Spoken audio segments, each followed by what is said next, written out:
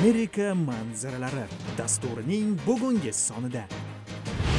Qirg'iziston sobiq rahbari roza o'tunbayeva bilan muloqot.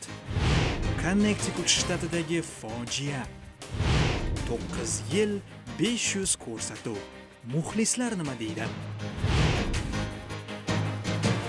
Dunyoning bu qismidagi siyosiy iqtisodiy va ijtimoiy manzara.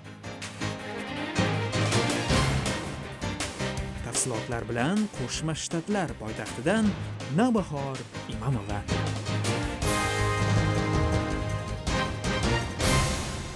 Assalomu alaykum. Amerika xalqi va hayoti tashqi siyosati va global mavzular haqidagi ko'rsatuvimiz huzuringizda.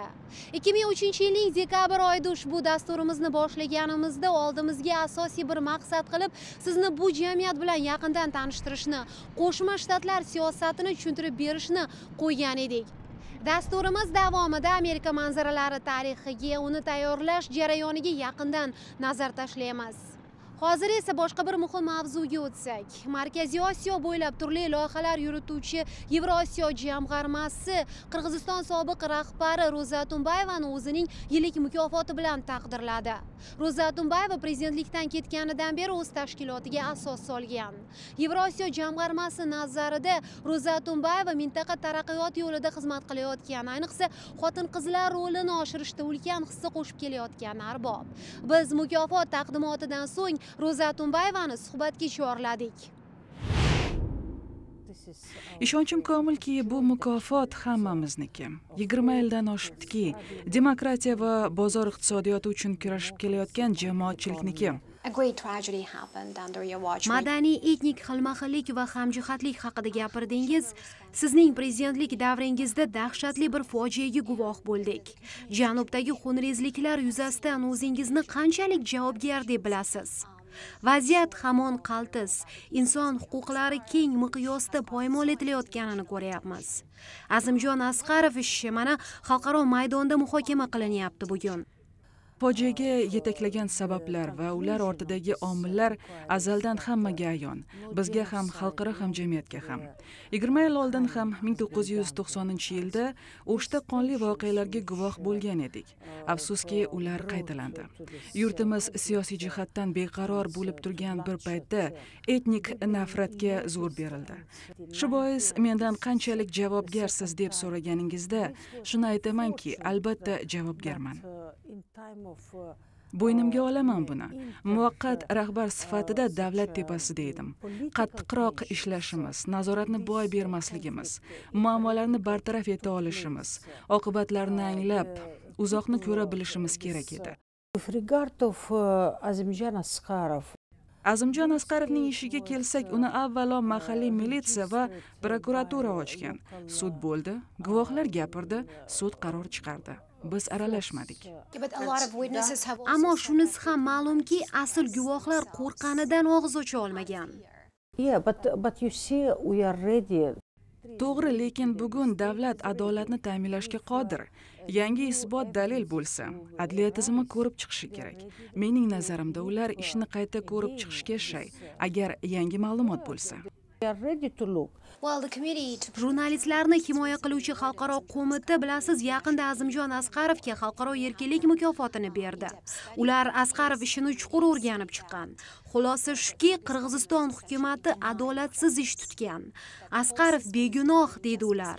Mahbusning o'zi adolat izlab bmtdan madad so'ramoqda. Buni bilsangiz kerak. Asqarovning tarafdorlari siz prezidentlikdan ketishingizdan oldin farmon chiqarib uni ozod etasiz deb umid qilgan edi.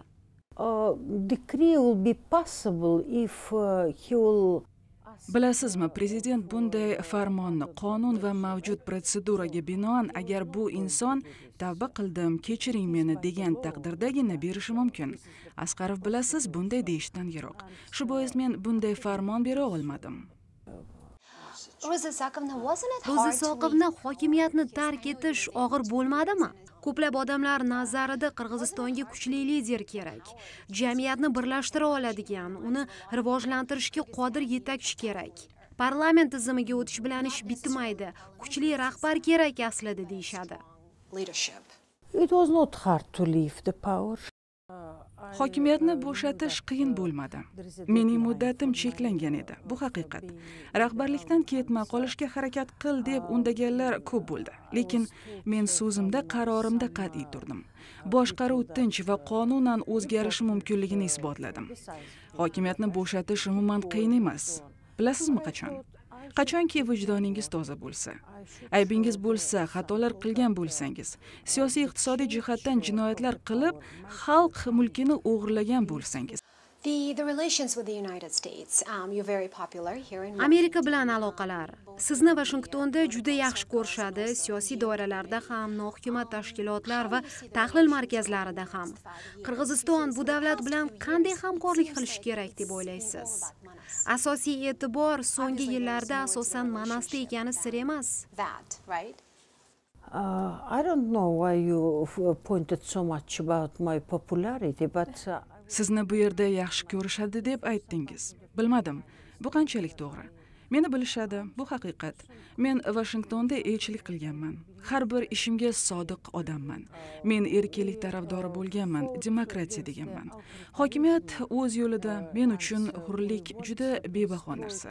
Shu bois balki amerikaliklar meni yaxshiroq tushunar va yoqtirar. Men siz amerika tarafdorisiz deyishsa tushunaman. Demokratiya tarafdori amerika tarafdori bo'lsa men nima derdim?